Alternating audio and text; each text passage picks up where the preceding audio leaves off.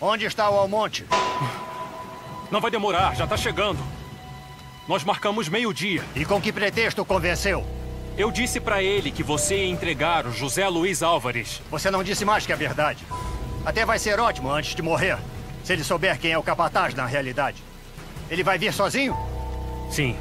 Não tente nenhuma tramóia comigo. Eu vou ficar apontando todo o tempo. Está entendido? Sim.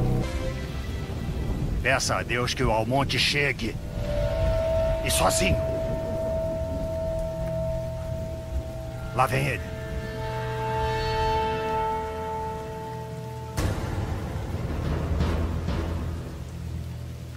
Atire quando estiver mais perto.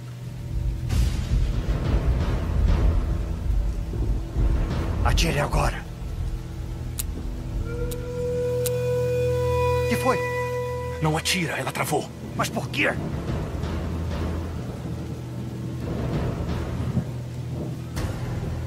Então eu mato ele.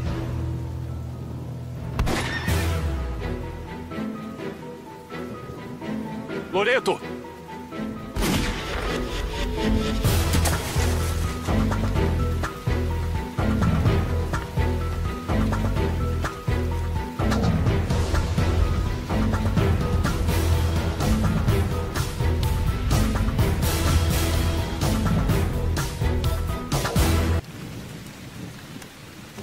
Que foi?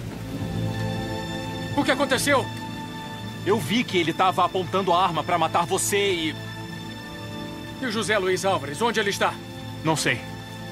Não sei, o Loreto chegou aqui sozinho. Tô achando que era uma armadilha pra te matar, Alessandro. Ele ia atirar daqui com a arma dele? Sim. Sim, eu vi. Eu vi que ele estava apontando pra matar você. Mas era quase impossível me acertar. Você não acha que se ele me chamou até aqui pra me matar, devia ter vindo com mais gente? Olha, Alessandro. O quê? Alessandro, eu vou te dizer a verdade. O Loreto não chegou aqui sozinho. Ele veio comigo. Como pode ver, eu tenho uma arma. Você ia me matar? Sim. Te chamei aqui porque o Loreto ia te entregar o Álvares. Mas eu menti. O Loreto queria te matar. Por isso me procurou. Me ofereceu muito dinheiro e, obviamente, eu fingi aceitar a grana porque ele já tinha se aberto comigo. E se eu dissesse não, ele. Ele ia me matar. Além do mais, se eu não fizesse, ele ia chamar outra pessoa. E por que não me disse tudo isso ontem à noite? Porque eu pensei que era o melhor a fazer. Pelo bem de nós dois.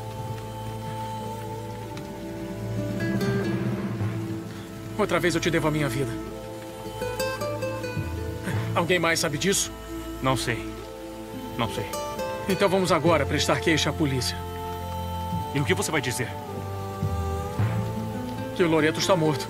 Que venham recolher o corpo e que ele foi assassinado pelos assaltantes que andavam rondando a região. Mas esses criminosos trabalhavam para o Loreto e o Joventino.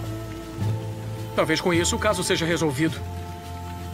Anda, vamos, Antônio. Não temos nada para fazer aqui.